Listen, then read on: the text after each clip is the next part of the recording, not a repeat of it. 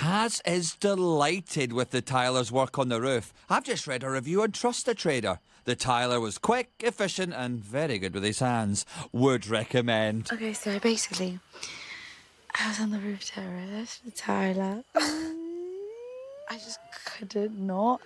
I would.